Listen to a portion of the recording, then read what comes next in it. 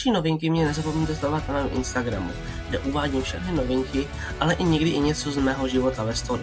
Odkaz máte v popisku. Děkuji za slednutí.